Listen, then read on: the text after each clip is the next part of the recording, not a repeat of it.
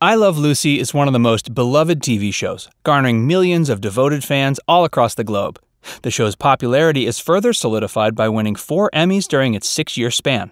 But did you know that there's actually a dark secret that the showrunners would prefer the general public not know about? There's one episode that was taken off the air for 10 years. In this video, we're going to take a look at this controversial episode and how it impacted the series show. I Love Lucy was so popular it became syndicated in dozens of different languages, spreading its popularity worldwide.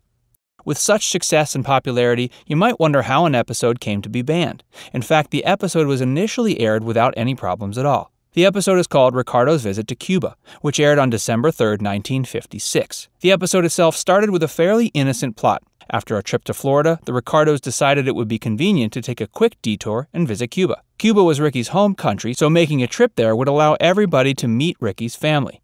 The episode even had a happy ending. After the visit, Ricky's family accepts and welcomes Lucy as part of the family. So, what caused the episode to be banned?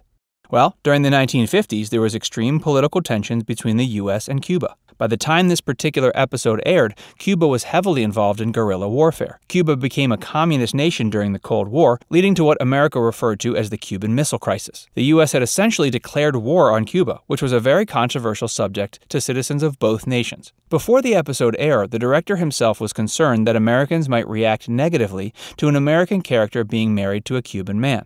As another piece of fun trivia, Keith Thibodeaux struggled to sing the song Babalu in this episode because it was in too high of a key. He struggled to hit the notes and was not proud of his performance. Of course, neither of these concerns led to the banning of the episode.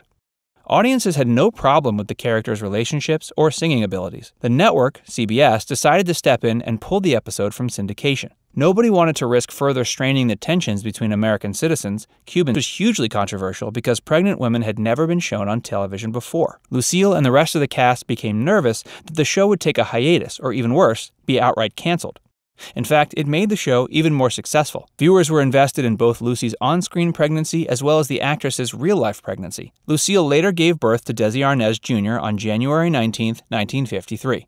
On the very same night, CBS aired the episode where Lucy gave birth to little Ricky. This episode was called Lucy Goes to the Hospital. The New York Times referred to the episode as a national event.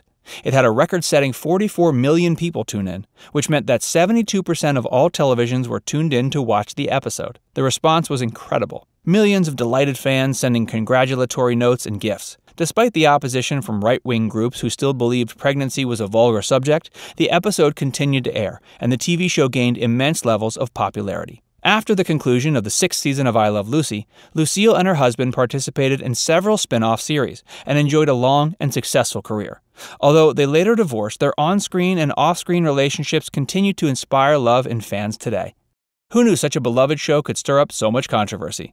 We hope you enjoyed this look at these historic TV events. Now we'd like to hear from you. Which episode do you find more controversial? The one about Lucy's pregnancy or the one about their trip to Cuba? Let us know in the comments. And if you enjoyed this video, be sure to like the video and subscribe to FactsVerse for more videos like this.